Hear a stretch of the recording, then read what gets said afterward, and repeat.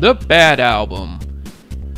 Despite Thriller selling a lot more copies, and I mean a motherfucking shitload more, I still say Bad is the superior of the two, and frankly, I think most MJ fans would agree with me on this. Yeah, I actually think there's such a thing as common ground with me and other MJ fans. How about that, huh? Of course, I got sidetracked already. But anyways, the reason Thrillers sold more despite being, in my opinion, the generally inferior album can be attributed to one thing Motown 25. Thriller had Motown 25 to promote it, a televised special that was watched by millions. Bad had Moonwalker, I guess, but there's just no comparison here because, for one, Moonwalker was a theatrical release in some countries and not others, which meant you had to pay to see it as opposed to just being home at the right time for Motown 25. And also, despite some clever animation and music videos, Moonwalker was a pretty subpar movie to say the least. No amount of Joe Pesci could save it. It's terrible, okay? Terrible. The only reason you watch it is for the dancing. Just admit it. If you watched Moonwalker muted, you'd be just as entertained as you would be if it wasn't muted. And that's a problem. Given Moonwalker's such strict and limited release, it's not even justifiable to call it a promotional piece for the Bad album. And if it was, then MJ did a bad job. And yes, that was a pun, and a dumb one at that. Years ago, I noticed something that stood out on the album's photography, and as the years went on and different editions were released, one photo in particular had an evolution. And I think it's a bad one. That time, that was not a pun. Just pay attention. I'm referencing this image. Now for some of you, you're probably thinking, wait a second, I know this image, but it doesn't look right. Well, that's because later on, the image devolved into this. I first noticed this when the special editions of the first four major Epic records came out to promote the upcoming Invincible album. Oh yeah, Michael went all out for that album that he actually had Off the Wall, Thriller, Bad, and Dangerous all remastered, repackaged, and even some had bonus tracks. Except Dangerous. Dangerous was just given a new package, nothing too exciting. But this was where I first saw this asinine change start, and I'm dumbfounded that even to this day I'm still seemingly the only one who notices it. Go and Google this and tell me what you find other than nothing. So, which image is the original? Owners of the original bad release, such as myself, both on compact disc and vinyl, I can give you that answer. This one. Let's look at the minor changes they made. In the original, the silhouette across from Michael has a cigar in his mouth, while the newer edit removes the cigar completely and adds in a rather awkward ponytail. Another minor detail is the fact that the subtitle Another Great Team is gone, as well as any mention of Frank Dileo in the original credits. Catching on yet? This has plagued my skeptic mind for years, until finally I broke down and emailed the credited photographer about it. And this was what he had to say about it. This doesn't surprise me at all considering his work. He doesn't seem the kind of artist to doctor his own work for no reason or any reason. But I also don't think Sony is the culprit here as he asserts. Given what is known about how Michael treated people he worked with, I have no reason to not suspect he had a gigantic hand in this absurdity. In J. Randy Taraborrelli's biography, he goes into good detail about the fallout between Michael and Dileo. And by fallout, I should mention that it was completely asymmetrical. How did it go down? Well, not to bring down the Jackson family, but I really just don't like the Jackson family. I never have. And I'm glad Michael distanced himself from the majority of them once he reached his professional peak as a solo artist. Anyone who's followed this family even remotely can clearly see the self-inflicted leash the male majority of this family wore on Michael's popularity.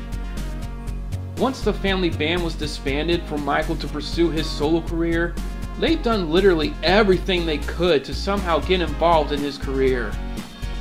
Not because they wanted to help or support him, but because they were going broke. A lot. When the Jacksons were unable to convince an already pissed off at his own family Michael from performing with his brothers in Korea for an assload of money, keyword here is money, Korea actually put a bounty over Michael's head to get him involved. Not in the off with his head kind of way, but rather the first guy to coax him into participating in these shows wins a million buckaroos.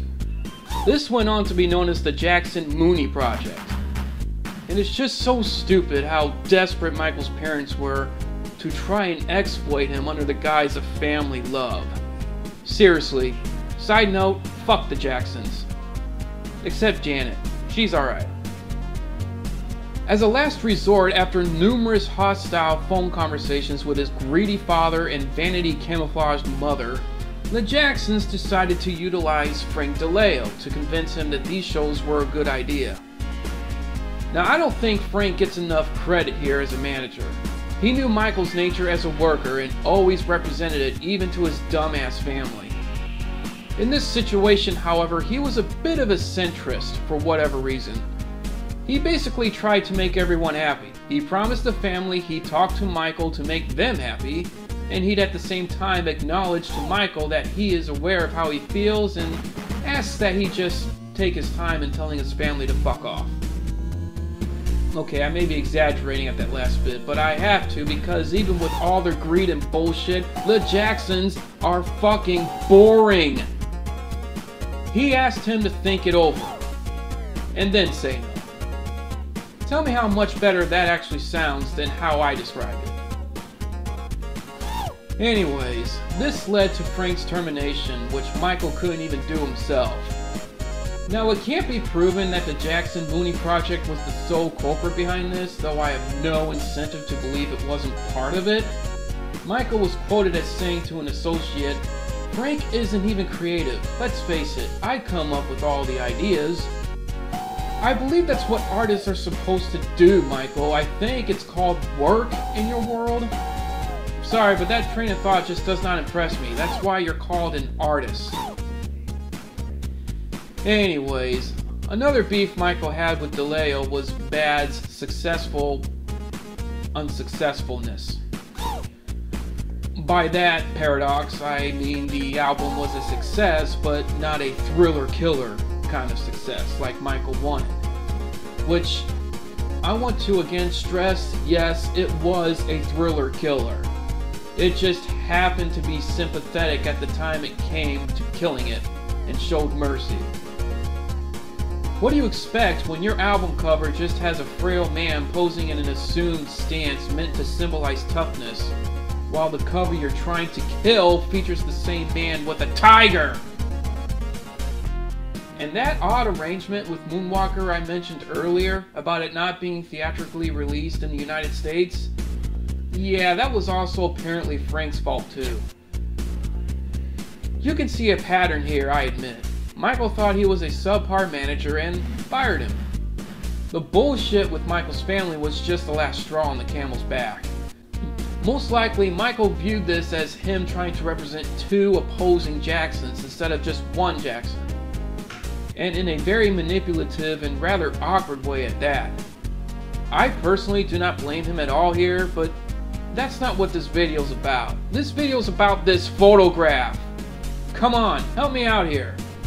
Was what Frank did or his management quality really worth completely destroying his image, literally, like this? Do you think Michael pulled this stunt as a disturbing way of telling his family how he felt about them trying to use his own people against him? And at the same time, send a message to Frank himself about trying to get in between family affairs? Maybe of a bit of a stretch, but given the circumstances and these ridiculously minor yet very influential modifications to this photograph, and the complete removal of Frank Dileo's name from the album's credits, I just don't see what else it could be. Now, when Bad 25 was released, Frank was actually put back in, and several photos, in fact, of the album's booklet. But this was released after Michael had died, and oddly enough, after Frank himself had died. That clearly had to be his estate acting alone on that decision. Even though once they started releasing bad standard editions again, the doctored photo was put back in. And its name, still out of the original credits. This case is gonna give me a headache. I don't know what to think. I just know it's seriously disturbing and has caused me to have a lot of reserved opinions on Michael's character. I mean, in addition to the opinions I've already had. What do you all think about this? Let me know in the comments. Or don't. I don't know. I was mainly the only one who noticed this apparently, so perhaps I should suffer from this alone as well. Anyways, until next time.